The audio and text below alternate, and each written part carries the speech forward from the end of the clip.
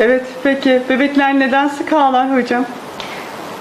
Ağlamaların birçok nedeni vardır. Bebeklerin konuşma şekli de ağlayarak. Yani ya açtır, ya altı kirlidir, ya uykusu gelmiştir. Yani o yüzden de e, bunları tek tek böyle değerlendirip eğer bunların hiçbiri yoksa bazen gerçekten bebeğin anneye ihtiyacı vardır. Psikolojik olarak annenin kucağında rahatlar. Bebekler kucağa alışacak diye kucağa almamak gibi bir şey söz konusu değil. Bir bebek kucağa alıp rahatlıyorsa, anne göğsünde huzurlu hissediyorsa kendini, güvende hissediyorsa lütfen ağlatmadan çocuklarınızı alın.